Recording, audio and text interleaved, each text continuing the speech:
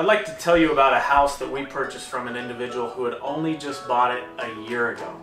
He had bought it, it had actually been fixed up and remodeled by an investor. He purchased the home, but a year later he got one of our marketing pieces and called us and said, hey, I need to sell.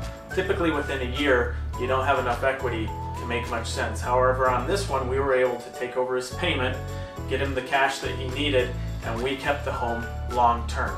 So whether your home whether you just purchased your home or you bought it 10 or 20 or 30 years ago, we may be able to help you sell it. No retail buyer could have purchased that home, but we were able to do it and able to make it work. So give us a call. We can explain it. We can help you understand it. Uh, just let us know. Thank you.